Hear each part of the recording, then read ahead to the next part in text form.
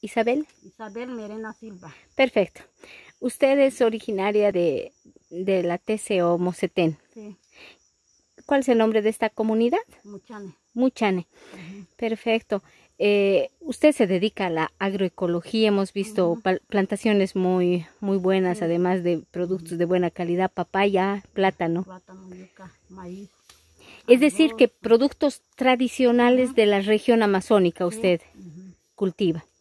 Ahora, ¿cómo ve que la posibilidad de que una empresa eh, dedicada a la minería, una empresa china, eh, ingrese a la zona? No, no estamos de acuerdo con eso porque mata los pescados, los animales, todo, ¿no? Y no, no estamos de acuerdo nosotros. Solo queremos el camino así para sacar nuestro producto, para caminar camino. Necesitan camino. ¿Qué más necesitan ustedes? Necesitamos tantas cosas, hay altas necesidades en la comunidad. ¿Tienen ustedes agua potable? No tenemos. ¿No tienen energía eléctrica? Tampoco no hay. ¿A motor? Nada tampoco. Ni siquiera motor. No, no. Algunos que tienen plata compran, algunos no, puro mechero. No. ¿Y cuántas familias viven en esta comunidad?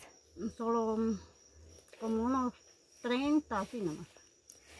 Entonces tienen que terminar sus actividades temprano porque ustedes no cuentan con una luz que les ayude a hacer alguna actividad en la noche. Eso es lo que ahorita queremos, que salga el camino, venga la medición para la luz, para los postes. Perfecto. ¿Cómo han pasado la pandemia? Cuénteme. Nosotros aquí metidos en el monte, comiendo unos platanitos, alucita, cebolla del lugar, todo, ¿no? Nos sembramos ají, este tomate, todo del lugar, puro eso.